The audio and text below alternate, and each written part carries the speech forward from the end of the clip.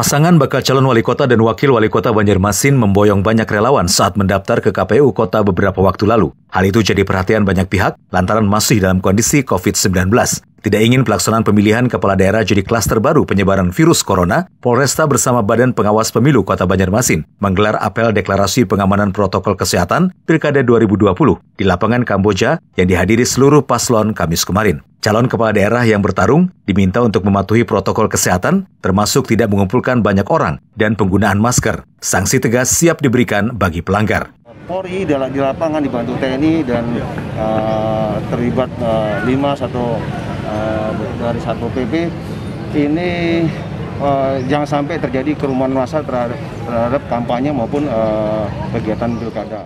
Kita kepada seluruh bakal pasangan calon uh, dan tim sukses mereka ini agar bersama-sama menjaga protokol kesehatan, jangan ada arak-arakan, jangan ada kerumunan massa, ya tetap patuhi. Semoga kita uh, dalam uh, kesehatan semuanya. Jika dilakukan, Pak?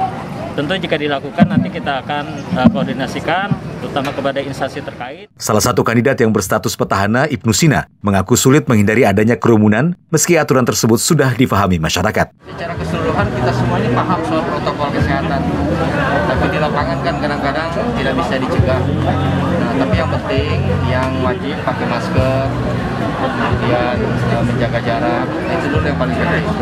Kami sepakat karena yang sampai nanti ada klaster pilkada. Nah. Kendati dalam kondisi COVID, tahapan pilkada tahun ini tetap memberikan porsi tatap muka antara kandidat dan calon pemilihnya, tentu dengan jumlah terbatas.